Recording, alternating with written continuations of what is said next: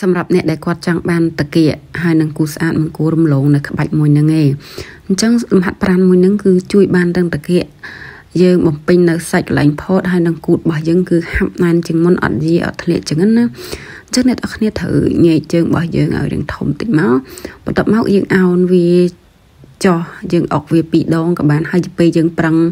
ងើបទៅវិញគឺយើងប្រឹងខ្ជិបគូតរបស់យើងដើម្បីឲ្យសាច់គូតរបស់យើងគឺប្រឹងខ្លាំងមែនទែនហ្មងហើយដំបូងដំបូងអ្នកនរគ្នាមិនបាច់តន់ជាមួយប្រើនឹងឧបករណ៍ក៏បានដែរប្រើតែជាមួយនឹងដៃលើកដៃយើងធម្មតាសិនមកបន្ទាប់មកបើអ្នកនរគ្នាស៊ាំហើយចាំអ្នកនរគ្នាប្រើជាមួយនឹងឧបករណ៍ដើម្បីបន្ថែមឲ្យសម្ពាធហើយចំពោះខ្សែ អឺ resistor នឹងបើសិនជាអ្នកនរគ្នាអត់ទាន់ប្រើវាទេ អ្នកនរគ្នាមិនទាន់ប្រើក៏បានដែរប្រើវាទៅទេសិនបន្ទាប់មកបើអ្នកនរគ្នាបន្ថែមជាមួយនឹងខ្សែ resistant បន្ទាប់ពីសំជាមួយនឹងខ្សែអ្នកនរគ្នាអាចបន្ថែមគីឡូលើកបានអរគុណច្រើន